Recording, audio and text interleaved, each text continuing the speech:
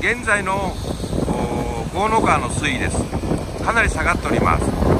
昨日の氾濫発生時はですね、えー、正面の旧豪津線のあの緑色の鉄橋ですね、えー、あのギリギリのところまで、えー、水位が上がったそうです、えー、2年前の西日本豪雨の際はですねあの陸橋を越えて、えー、水が入ってたそうです。何ですか？あっちの駅のあの前のロータリーがあるんですけどその手前の道路ぐらいまで来てました。で前回2年前はもうロータリーもちょっとすっぽり埋まった感じだったんで前回よりはまあ12メートルぐらいは水位的には低かったかなという感じです、ええ、あそこの一番上にえっとゴミがついてるでしょこう、ええ、あそこまで水が来ておりますけええ。ほだけはこれよりか、ええ、1メートルぐらい高い位置ですね。じゃあこの地域はもう全部使ったってことですね。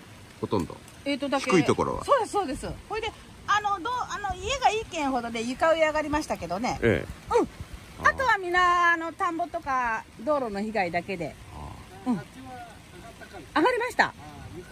床上。水で。姿が見えんかったです。鳥居の。はい。完全に。うんどっぷり。どっぷり？はい。何にも見えんかった。ものの見事に。うん。それ使って水没してしもうて。あの鳥居のうちはここの屋敷だがな、うん、今かさぎ工事して、うん、仮屋向こうで借りとるんよ、うん、そこの下にの尺があるんだから、うん、その尺がぶっつり使った、うん、あの向こうは流されたやつですか？